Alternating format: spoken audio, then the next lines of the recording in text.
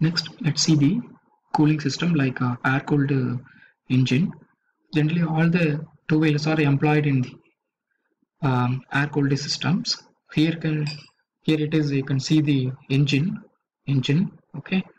And uh, uh, around the um, cylinder you can see here the fins by means of aluminum metals. Aluminum because uh, it is aluminum is one of the best thermal conductivity materials. During working times during working conditions actually during inside the engine there is an enormous amount of uh, heat is liberated. This energy will be um, consumed after uh, consumed and remaining i mean the energy means the heat energy that heat energy will be liberated through these fins. Okay? This is for better conduction. This is for better conductions. Right? Mm, look at cooling systems in liquid cooling systems. Here a coolant. It is a working medium. Here it is uh, circulated around the cylinders and absorbs the heat from the cylinder walls and cylinder heads right? The coolant it is a mixture of antifreeze ethylene glycol and the water. Uh, sometimes the aluminum radiators have special antifreeze that record the special antifreeze liquid so here the coolant absorbs heat as it passes through the engine and also lubricate the water pumps. And the hot coolant enters the radiator in which the heat is passed on the air that is flowing through the radiator through the radiator it prevents the dust and corrosion from the water jackets the cooling systems fluid is recommended every two years in order to remove any dust or contaminants presented, presented in the radiator. Right. Water jackets. In cooling system, the water ja jackets, it is one of the important one. Uh, let's see what it is. The design to, it is actually designed to keep engine block and cylinder head cool.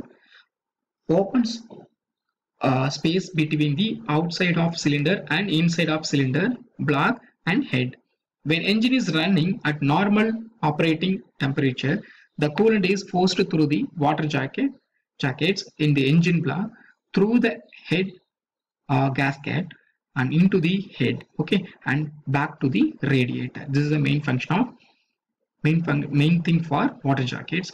And uh, in cylinder head um, gasket sides between the short block and cylinder head.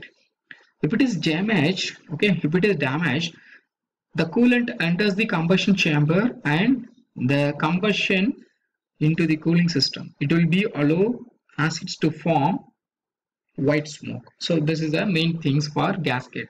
So if it is damaged once we have to replace this in cooling system. This is uh, you can see here it is a radiator which will be uh, provided in the front portion of the vehicles. Front portion of the vehicles. Here can say the air pins will be the radiator cap here it is a radiator cap. At the top of the radiator this is a coolant tubes. Here it is a coolant tubes.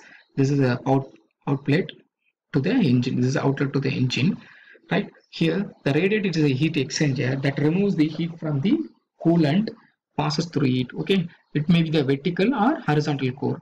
In vehicles equipped with automatic transmission or the transmission cooler built into the radiator. Some vehicles uh, towing purposes have oil cooler mounted to or built into a radiator. Right. So this is a thermosiphon cooling systems here which I have shown the thermosiphon cooling systems. This is the uh, line diagram for the line diagram of thermosiphon cooling systems. Here you can see the um, engine. This here it is an engine in which the water jackets will be there here it is going from uh, coming from the radiator and goes to the engine inside the inside through the water jackets and come out to the upper hose connection and come to the upper tank. Here it is stored okay?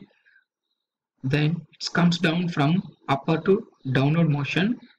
During running condition the air will be impinging air will be impinging on the radiator so it gets cooled and comes down the lower tank okay after reaching certain temperature um, cooling the cooling the um, um, um cooling the um, um, antifreeze solution and here it is allowed to the again allowed to the engine portions. This is a simple working function of the cooling systems.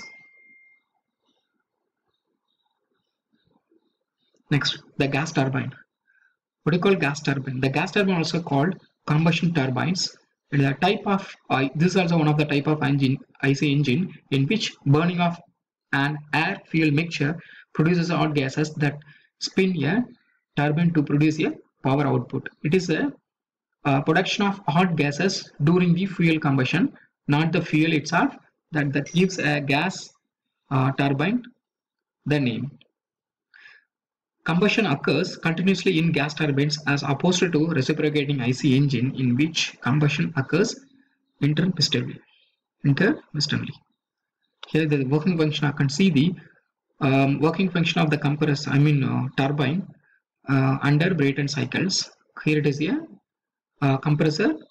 As I said the earlier uh, slides, compressor, turbine, there is a combustion chamber. Here the air is compressed at a high pressure by compressor. Then the fuel is compressed.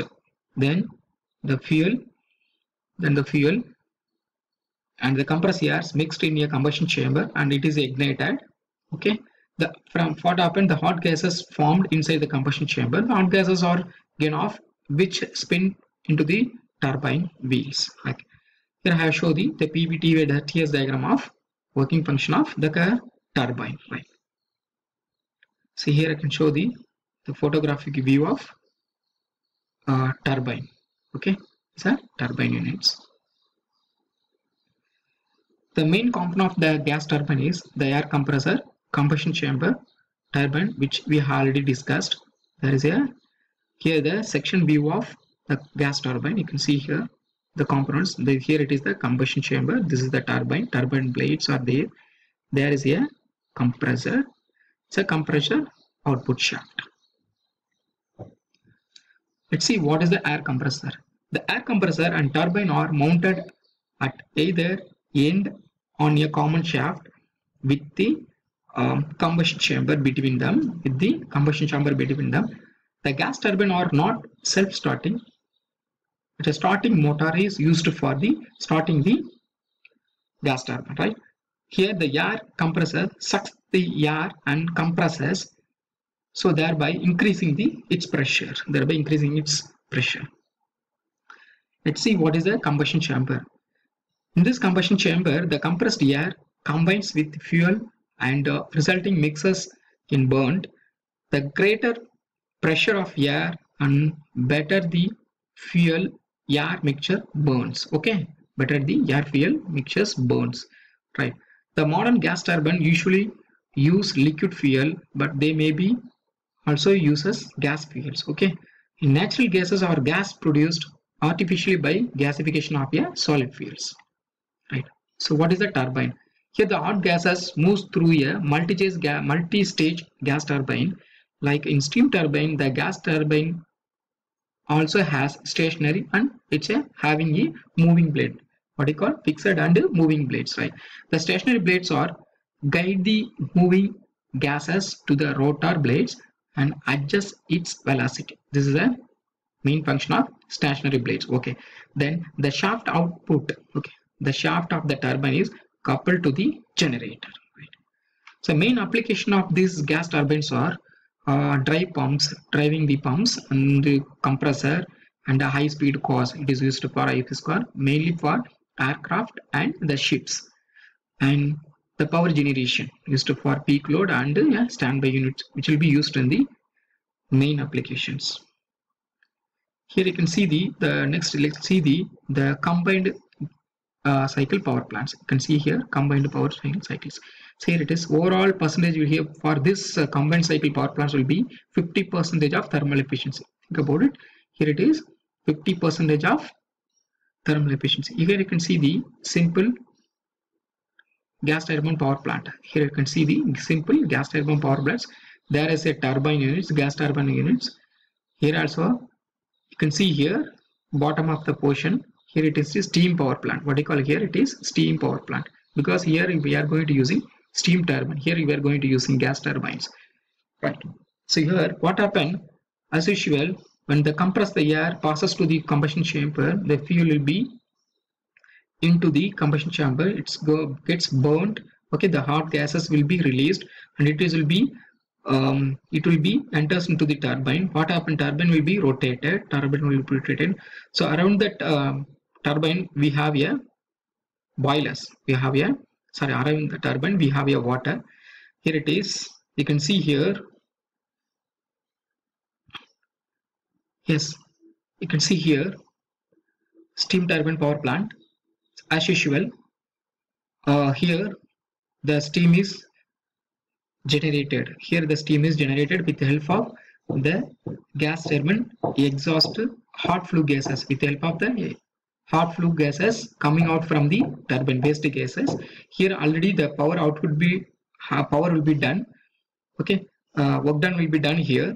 Okay after work done there is a waste hot gases released from the turbine okay? Hot flue gases will be released from the turbine and it will be used in the boilers okay? And it will be used in the boiler. Here boilers here there is a conduction will be takes place around the boiler you know very well it is the water tubes are there. Inside the water tubes there is a water will be circulated. Here water will be circulated.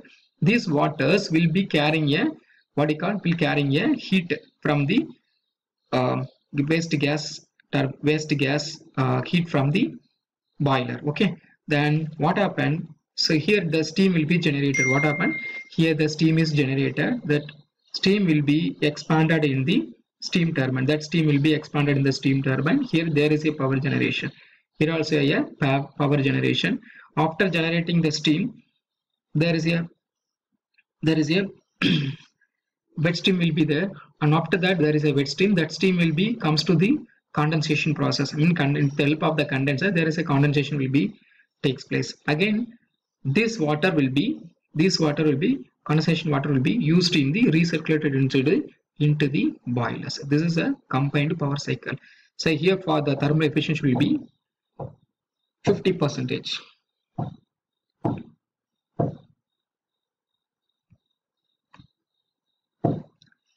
Here the maximum steam temperature in a power cycle does not exceed 600 degrees Celsius although the temperature in dry bottom pulverized coal furnace is about uh, 1300 uh, degrees Celsius.